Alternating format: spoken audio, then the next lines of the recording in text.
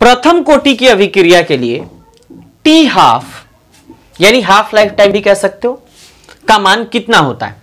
तो देखिए first order reaction के लिए फ़र्स्ट ऑर्डर रिएक्शन यानी कि प्रथम कोटि अभिक्रिया के लिए, टी हाफ़ का मान जो होता है, ये 0.693 अपॉन के होता तो अब देखिए कि इसका मान जब t half is equal to zero point six nine three upon k होता है तो ऑप्शन में क्या है? क्या इससे मैच करता है? चेक करेंगे ज़ीरो पॉइंट सिक्स के zero point six upon k zero point six nine three upon k match कर रहा है। Zero point six eight three upon k और zero point one zero upon k तो ये चार ऑप्शन है।